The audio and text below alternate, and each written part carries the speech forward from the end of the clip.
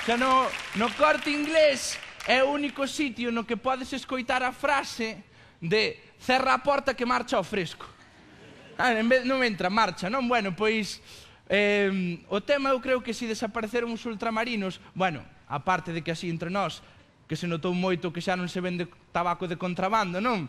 Pero eu creo que porque hai tantos produtos, isto sempre día a xente maior, que agora hai moitas cousas, non? Antes había catro, era moi cómodo os ultramarinos porque confiabas na dependiente, a escollía por ti, dicíache, que queres, detergente, toma, o que hai, zas. Non era Ariel esquí, no. El que hai, se o queres, lo llevas. El bote de 6 kilos, pero para lavar uns calcetines, da igual. Levas o de 6 kilos que non, non me queda... Es que non me queda del pequeño corazón. E diste... E ti, ela dixe, es que non me queda del pequeño corazón, e ti estás pensando, na túa puñetera vida tu veches botes pequenos, que se podes vendelo grande, pa que carallo vas vendelo pequeno, non? Pero ela, joder, chamoute corazón, sabes? Eu botei dous anos salindo cunha rapaza e non mo chamaba. Ela o primeiro día xa cho chama, non? Ti esa señora, quérela, quérela, quérela, aínda que non saiba sumar. Sí, sí, no, porque de sumar, nada, bueno, no papel de estrazas de envolver o pan sempre damas contas. Pero cando vas por 200 gramos de queixo, se non marchas con medio kilo, a señora non lle vai ben, non? Me pasa un pouco, pero bien, lo comes, non? Home, non.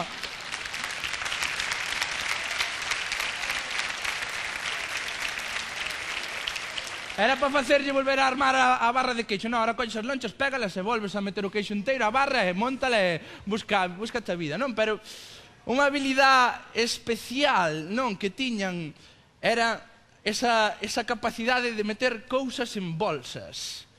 Se ti ibas, ultramarinos, que queres? Pois mira, quero colacao, pan, zumo, leite, ovos e detergente.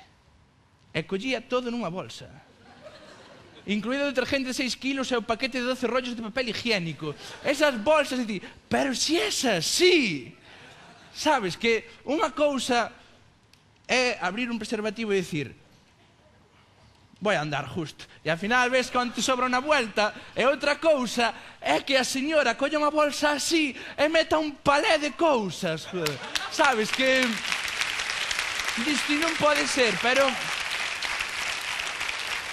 Eu creo que chegou un momento, non, porque eso era unha política de economía, aí o vedes, non? Como unha cousa, unha marca de aceite, unha de azúcar, eh, chegou un momento que, claro, non lle collían as cousas, acumulábase o chollo, non? Porque o leite, antes que se tomaba leite fresco do día, como moito de cartón, pero leite inteiro, ora, que si entero, que si de semidesnatado, que si con calcio, que si de... non, que E, a ver, eu non tomo leite, non? Pero sei que é un problema que está aí e que lle ocupa espacio a señora, non? Porque, bueno, non tomo leite porque como non, sempre teño que tirar e daquela non me compensa compralo.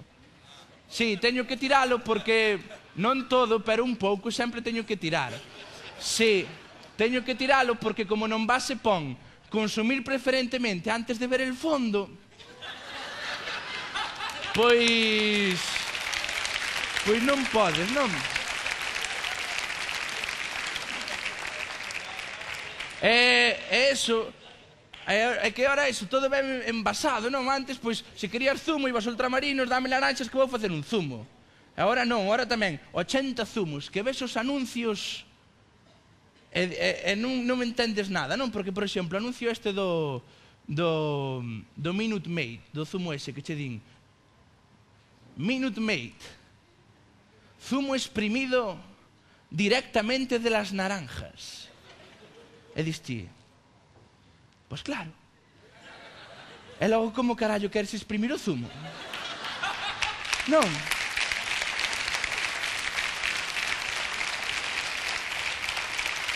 De maneira exprímelo de maneira indirecta, non? Pois xa me dirás como faz. Chegas a casa, pusas as lanaxas na mesa da cociña e míralas de reollo. En plan, yo non digo nada. Pero había que ir exprimiendo el zumo, non? Ou, ou da competencia que é Don Simón, zumo de naranja concentrado. ¿Concentrado por qué? ¿En qué pensa o zumo? Que pasa? Que, que os primen en clases de yoga? Ao mellor compras o zumo, giras o tapón en vez de facer clac, fai. On... En...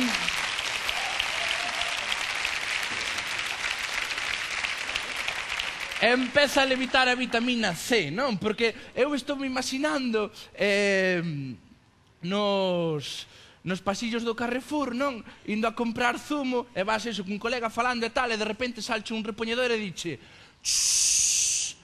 non hagai ruido que está el zumo concentrado.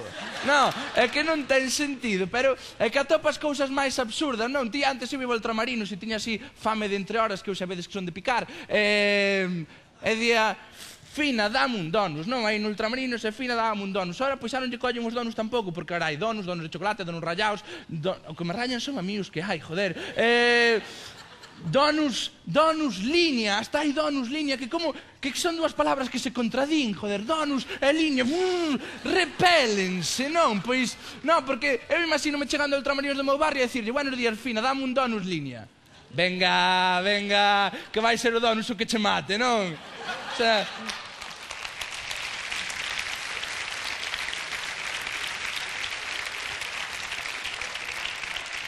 Robertiño, que vais de comer un kilo e medio de churrasco, non? Se queres comer o donus, come o normal. Non, pero o anuncio que insistía en Chei, non? Que diste, non ten ningún sentido donus línea. Pois intentaron che vender, porque, o sea, Donos Línea decían con el 35% menos de grasa. Por qué? Faltalle un trozo. Porque non me fastidiedes, é o único ingrediente. Ti cois os donos ingredientes, grasa, se acabou, non? Se teño o burato para que respires, carallo, non? Pois sacaron un anuncio, intentaron chos vender, decíanche un anuncio. Por fin lo hemos conseguido. Donus Línea, el donus que sabe como el de siempre, pero con un 35% menos de grasa. E diste, mentira, mentira, mentira, porque se fora certo, como van facer para que compres o donus normal? Se ese sabe igual é máis sano, non ten a mitad de grasa, como che van vender? Van dicir, eh, tú, eres tan tonto, como habiendo un donus que tiene la mitad de grasa, tú prefieres seguir tomando el que tiene toda la grasa y obstruirte las arterias con el colesterol y los aceites vegetales? Pues ya sabes, donus de siempre. Luego, si eso tomas un Danacol y lo arreglas, non? Pero...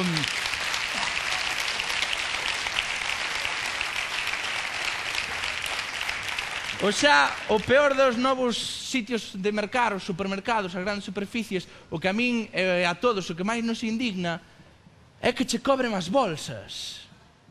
Eso, joder, cobrar unha bolsa, se gastei 40 euros na compra, pero sabedes por que o fan? Porque gastamos moitas. Se fóramos como a de ultramarinos, que somos capaces de meter catro carros nunha bolsa, non lles preocupaba tanto. Mirade onde comprades. Boas noites.